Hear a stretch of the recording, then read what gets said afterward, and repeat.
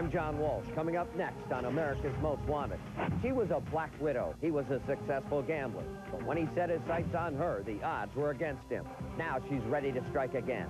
And find out how one man is taking back the streets of Greenwich Village. All that and a lot more in 30 minutes, right after Cops. New team. You want me to bug the CIA? New rules. How far are we willing to go? Whatever it takes. New York Undercover returns Thursday at 9, 8 Central.